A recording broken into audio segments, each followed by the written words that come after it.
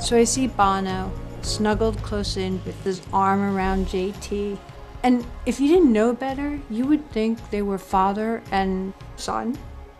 And Bono is very lovingly giving him industry advice.